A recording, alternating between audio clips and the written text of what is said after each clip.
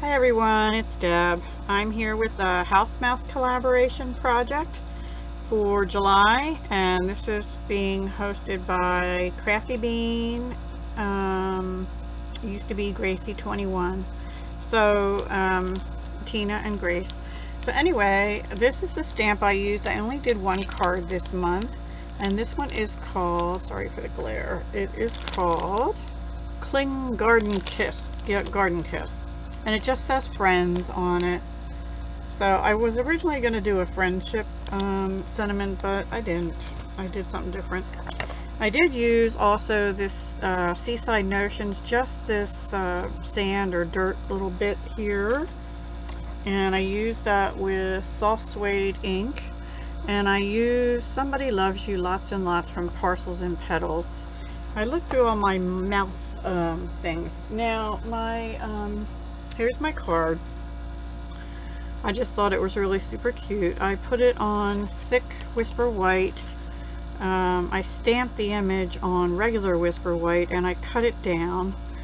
This is retired Stampin' Up! Designer Series paper from the Subtles collection in Calypso Coral from last year's catalog.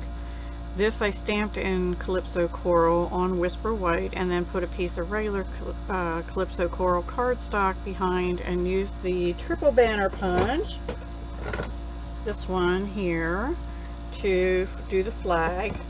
Um, and then I colored it in with my Stampin' Blends and I used, let's see, for the mice I used light and dark crumb cake and as well as light and dark petal pink for their ears, nose, and tails and things. Um, and let's see, I used Mossy Meadow for the greenery, light and dark for the leaves.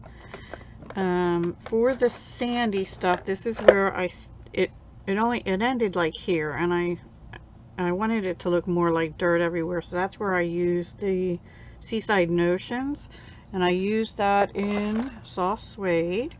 And then I did color it in in um, soft suede light and dark.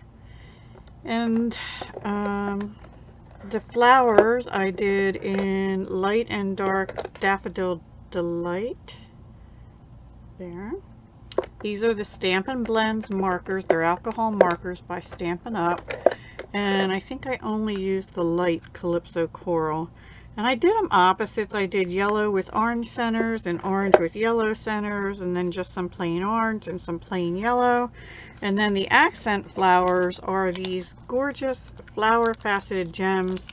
I had three left, two yellow and an orange, which is Calypso Coral in this packet.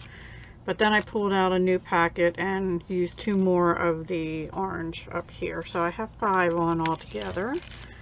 And that's really it. On the inside, all I did was put a piece of the um, Calypso Coral polka dots to go with the background here.